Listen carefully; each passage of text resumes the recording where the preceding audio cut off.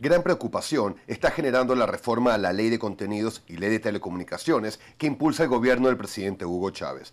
Miguel Enrique Otero, editor del diario El Nacional, nos explica. Bueno, lo que está pasando en Venezuela con los medios está descrito en el Plan de la Nación con el término de hegemonía comunicacional. Es llevar el país a una sola voz, una, una sola visión de las, de las noticias, de las opiniones, como ocurre en los países comunistas. Ese es el objetivo.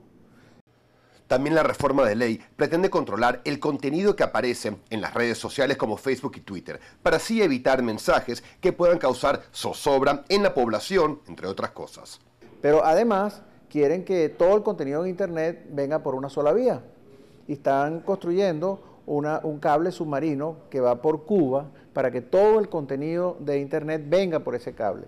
O sea que los venezolanos van a estar sujetos a que en una oficina en Cuba puedan observar todos los, mensajes de correos electrónicos, todas las páginas, todo lo que ven los venezolanos. Es directamente un control de Internet. Le preguntamos al editor del Nacional con qué fin hace esto el gobierno del presidente Chávez.